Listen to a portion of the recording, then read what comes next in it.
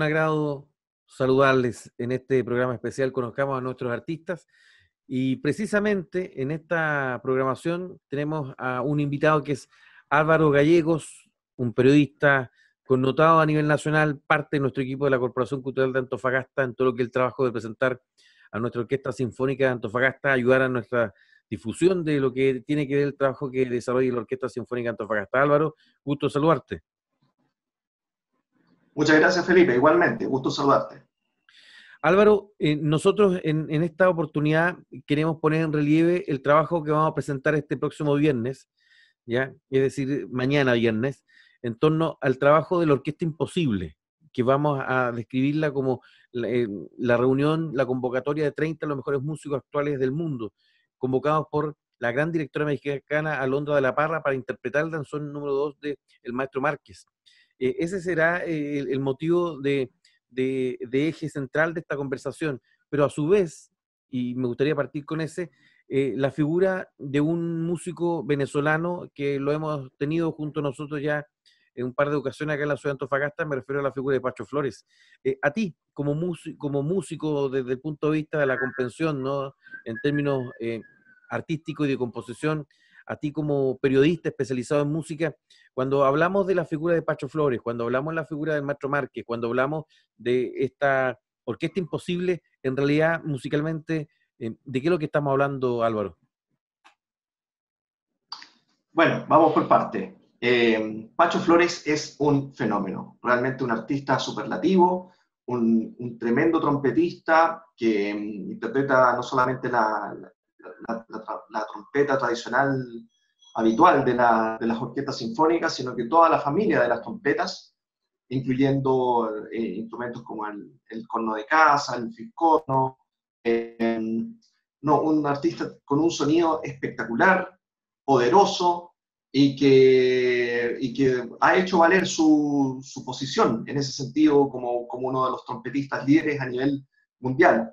Por eso también ha, ha podido hacer una carrera como solista, grabando discos propios para el sello Deutsche Grammophon, y por tanto eh, fue un, un, hito que, mm, importantísimo que estuviera dos veces en la temporada de la Orquesta Sinfónica Antofagasta. O sea, realmente eso ya era como de la cultura de la ciudad, de la historia de la orquesta, por supuesto, y fue realmente una maravilla, un lujo de que, de que eh, un instrumentista de este nivel pudiese estar en la Orquesta Sinfónica Antofagasta.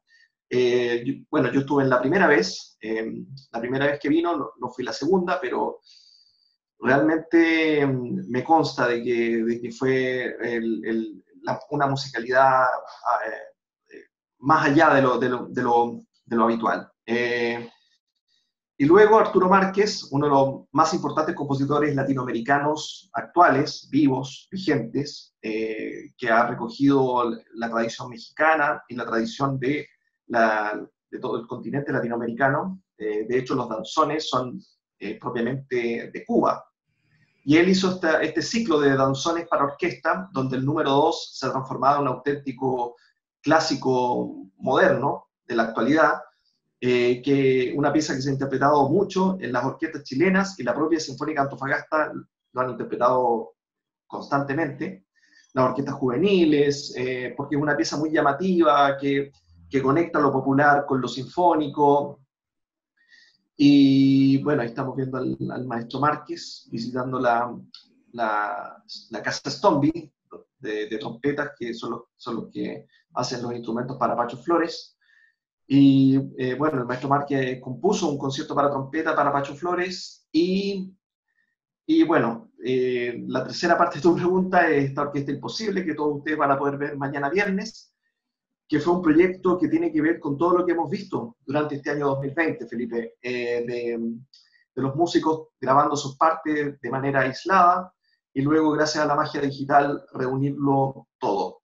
Y en este caso de la Orquesta Imposible, eh, son, es una auténtica selección mundial de músicos, eh, todos muy connotados, como la cornista Sara Wallis, el flautista Emanuel Payú, el clarinetista Paquito de Rivera y el el propio Pacho Flores, todos eh, bajo la dirección de la maestra Alondra de la Parra, para hacer precisamente el danzón número 2 de Márquez en esta producción de alto nivel que eh, va más allá de, ver a los músicos en el living de su casa, sino que hay todo un, trabajo muy cuidado, muy, muy detallista de, lo, de, lo, visual, de lo que uno ve, que se complementa además con una bailarina, también hay una coreografía de por medio. Eh, es, es, un, es un videoclip eh, que, que es como una destilación precisamente de, de, esta modalidad que hemos tenido que vivir este año de, de los conciertos online y de, y de, juntando la, el trabajo de los músicos de manera separada. Perfecto. Álvaro, en ese sentido, bueno, estamos, estamos viendo ahora imágenes del material que de forma exclusiva va a tener la Corporación Cultural de Antofagasta, en la dirección de, de Alondra de la Parra. Eh, Álvaro, bueno, hemos conocido un poco elementos de Pacho Flores, un genio de la música, la interpretación de la trompeta, junto a otros maestros, como el maestro Márquez, dos hombres latinoamericanos influyentes en el mundo de la música, la composición eh, latinoamericana. Te quiero preguntar, hablemos un poco de la figura de Alondra de la Parra. Eh, ¿Cómo podemos describir esta, esta figura? Eh, que podríamos decir que una, una figura que tiene ya una trayectoria, pero que en el mundo internacional, a nivel internacional, es una figura que rompe su nombre con, mucha fortaleza, ¿no? Sí, claro. Eh, bueno, también está relacionado con el tema de que ahora es mucho más habitual ver mujeres arriba del podio. hace 30 años atrás eran muy pocas las mujeres directoras. Ahora hay muchas muy buenas muy talentosas.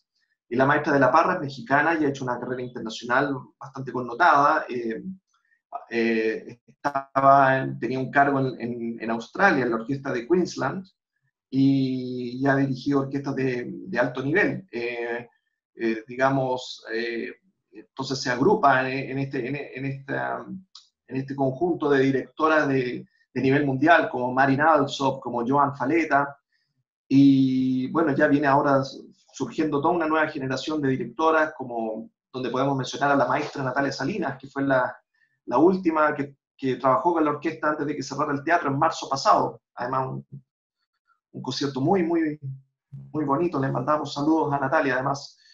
Eh, entonces, sí, la maestra de la Parra es muy talentosa eh, y tiene, está muy conectada con este tipo de, de repertorio, un repertorio de, que, que funde lo, lo propiamente clásico con lo latinoamericano.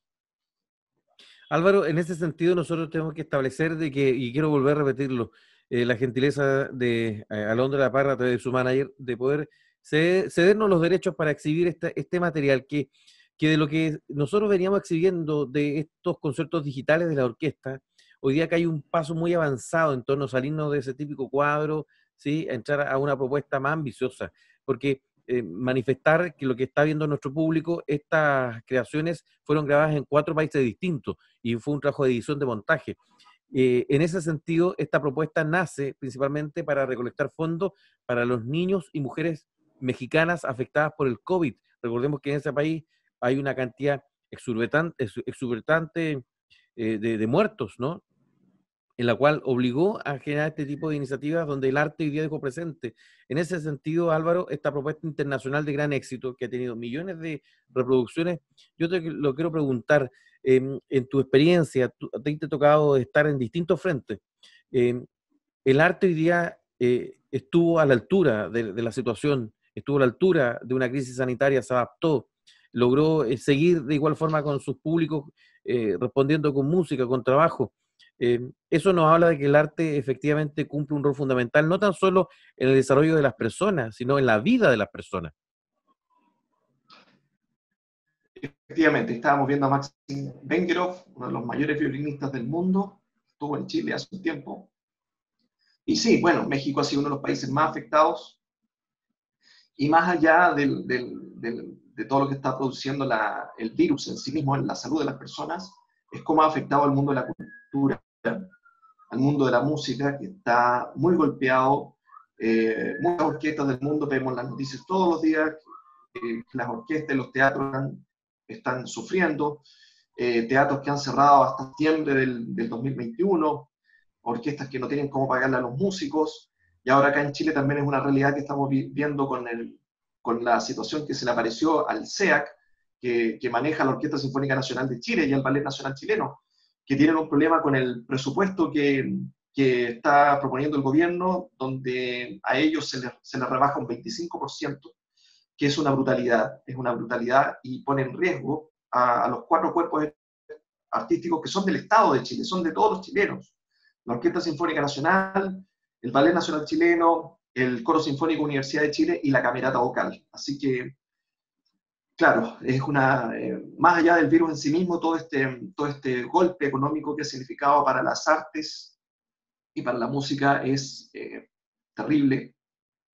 Y todos tenemos la esperanza de que, de que esto se acabe para que podamos volver a reencontrarnos en los teatros, podamos seguir apoyando la, a la música y por otra parte, como hemos estado todos muy encerrados, eh, todos hemos estado muy conectados con la música de manera online, con lo que ofrecen ustedes en Cultura Antofagasta, eh, que ustedes han, han, sido líderes en, en, proponer, en, mostrar contenidos constantes. Otras orquestas del país, tengo que decirlo, se han demorado más, han sido un poquito más lento en ese actuar. Entonces, hay que aprovechar este, este encierro y yo creo que muchos están conectándose con la música de manera más emocional que antes. Eh, y bueno, este, esta situación inauspiciosa puede que, nos lleve a un, a un, a un grado de, de, disfrute mayor de la música que esperemos que se condiga con, con, con, con, una situación positiva para las orquestas. O sea, todos esperamos que la situación de la Sinfónica Nacional de Chile se arregle, o se, se, solucione de la mejor manera y, y, bueno, otras orquestas del país también están con problemas similares. Entonces, ay, disculpa Felipe, que me, me, me emociona un poco al, al, decir todo esto. No, tú, tú, tienes razón, hay una situación eh, que se vuelve crítica y que tiene que ver con los fondos, con los fondos para poder eh, seguir cumpliendo el rol, seguir cumpliendo la labor, la misión de tantos eh, elementos, elencos que son parte del desarrollo cultural, artístico-cultural de nuestro país. Eh, Álvaro, en ese sentido, de lo que estamos viendo nosotros, yo te lo quiero preguntar. Aquí se reúnen los 30 músicos más influyentes actualmente del mundo. Eh, te lo quiero preguntar derechamente. Chile, si hablamos de Chile en el estándar internacional, ¿dónde, ¿cómo está, cómo tú aprecias el desarrollo que tiene Chile en la música, en este caso de tradición escrita? ¿Dónde nos ubicas tú? ¿Cuánto nos falta? Y evidentemente el cuánto nos falta tiene que ver con lo último que tú estás diciendo, la falta de recursos para llegar a estándares, mantenernos y ser un país reconocido eh, a nivel internacional, eh, no por algunos casos estadísticos, porque tenemos varios músicos chilenos que triunfan en Europa, sino que, que sea una norma, que sea una política de Estado. Bueno, falta muchísimo. O sea, ya estamos viendo que si recortan los presupuestos para, para la cultura, eh, estamos en, graves problemas porque hay un tema que eh, se, está imponiendo una visión de que la, de que la cultura no es eh, prioritaria, no es necesaria, y eso es muy, muy grave. Antes veníamos relativamente bien, está, estábamos mejorando en, términos de infraestructura, con la inauguración de teatros nuevos como Corpartes en Santiago, el Teatro Corpartes, que es un lugar más adecuado para la música sinfónica en, relación a lo que, lo que teníamos antiguamente. Ese era eh, y falta mucho todavía también la, la, propia sala de conciertos de la, de la, Orquesta Sinfónica Nacional, que se estaba construyendo ahí cerca de Plaza Italia, una cuadra de Plaza Italia, detrás del actual Teatro Universidad de Chile. Todos también veíamos ese proyecto con mucha esperanza porque se iba a hacer en, en relación a estándares internacionales de acústica, como, como la Ballena Azul de Buenos Aires, y bueno, todo está pausado, primero por el estallido social y ahora con toda esta situación que eh, posterga y la, cultura vuelve a postergarse. Entonces, em, eh, por otro lado, también Chile está abriéndose más a las visitas internacionales. Em, por fin pudimos tener a la Filarmónica de Viena en Chile, a la Sinfónica de Londres, dos de las principales, orquestas del mundo. Entonces había una, había una integración mayor de, Santiago y de Chile como una, especie de, como en el ámbito internacional, o sea, también la visita de Pacho Flores a, Antofagasta también es un reflejo de eso. Pero bueno, ahora mm, con estos, con estos temas, sobre todo económicos y, presupuestarios, estamos en, una nebulosa que, que en el fondo estamos, ahora estamos todos en el mismo buque, ¿ah? o sea, no, eh, si, vemos eh, Inglaterra, que es uno de los países que uno siempre considera que es uno de los lugares donde la música clásica importa. Inglaterra está muy, muy golpeado, el Royal Albert Hall tiene problemas muy serios, la, el Covent Garden. Entonces, si ya si Inglaterra tiene, tiene ese, ese tipo de problema, eh, imagínate nosotros, estamos, estamos todos igual. O sea, eh, ahora hemos visto recién que en Alemania, en Italia ya se están haciendo algunas cosas, en Austria, todo con, con, menos público, pero pero bueno, eh, es una situación cambiante, es la modernidad líquida, donde no sabemos lo que viene a la vuelta de la esquina y ya se anticipa que 2021 no va a ser un año fácil. falta todavía un, trecho para el, para el, tema de que las vacunas estén disponibles para todos, entonces... Es un temazo, ¿no? Hay que seguir luchando para... Sí, sí, sí, sí. Sí, es un temazo, porque en realidad cómo se articula el 2021 depende de muchos factores.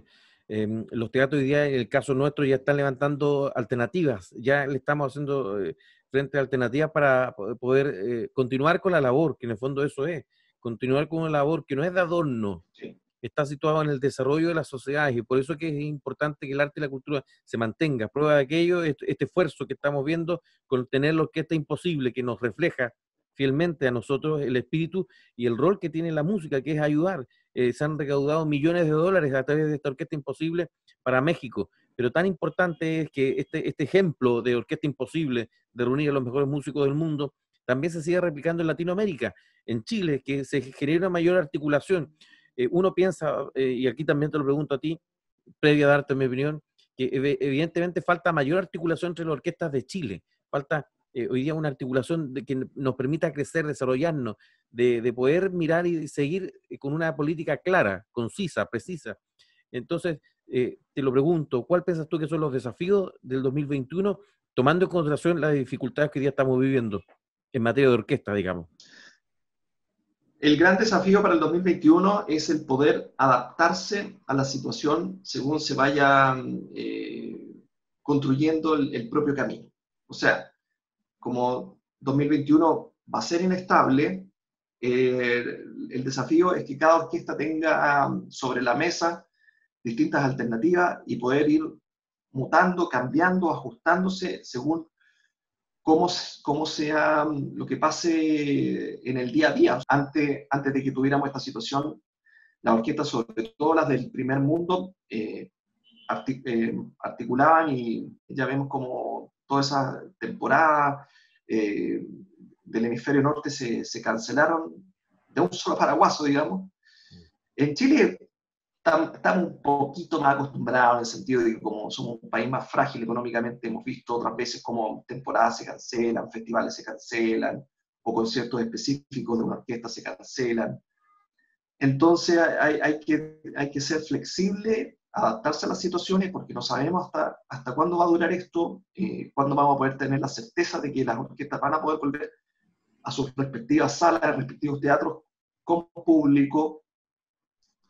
Eh, entonces, eh, bueno, muchos están ya están pensando más de manera más sólida hacia, hacia el segundo semestre del 2021, con un primer semestre más mixto, pensando en en cómo sería la situación, pero es eso, hay que tener siempre el plan B, el plan C, el plan D, el plan E. Perfecto. Álvaro, queremos agradecerte esta conversación que giró en torno, bueno, estuvo bastante variada, ¿no? Eh, en torno a lo que fue la, este vínculo, ¿no? Que se dio entre Antofagasta y Alonso de la Parra para poder presentar el trabajo de la Orquesta Imposible con este tema danzón número 2 del maestro Márquez, Arturo Márquez, Em, la presentación donde estuvo inserta dentro de ello eh, Pacho Flores, que esperamos tenerlo próximamente junto a nosotros, donde tuvimos dificultades para poder desarrollar la conversación, pero ya la hemos coordinado para más adelante. Eh, el diagnóstico que tú das en torno a la situación actual que tiene Chile, que es lamentable en materia musical y que sin duda hay que salir a defender efectivamente el rol que tiene los elencos artísticos culturales en nuestro país. Eh, Álvaro, te queremos agradecer eh, y también a ti, ¿no? Por todo el trabajo que tú has hecho con nosotros en Antofagasta, de difusión, de poder incentivar, de poder mover y que esto pueda perdurar. Así que en nombre de todos nosotros te damos las gracias porque tú eres uno, eres uno más de nuestro equipo y estamos muy contentos de tenerte junto a nosotros. Muchas gracias, Felipe. Feliz de trabajar con ustedes y de poder aportar a todo lo que es el desarrollo musical de, fuera de Santiago, en un país tan centralista como este. Toda la razón, Álvaro. Así que te mandamos un fuerte abrazo, muchas gracias por todo y esperamos vernos prontamente. Gracias a ustedes, que estén muy bien. Bueno, y nosotros nos despedimos desde esta, desde esta oportunidad que nos da la plataforma para poder conversar con Álvaro Gallego, nuestro periodista especializado de música, quien está a cargo de presentar los conciertos de la Orquesta Sinfónica Antofagasta y anunciando lo que viene mañana viernes con la Orquesta Imposible, material eh, entregado exclusivamente para nuestra institución por Alondra de la Parra, esta directora destacada a nivel internacional que estará junto a nosotros con el danzón número 2. Así que un abrazo a todos ustedes, nos encontramos pronto, que estén muy bien, chao, chao.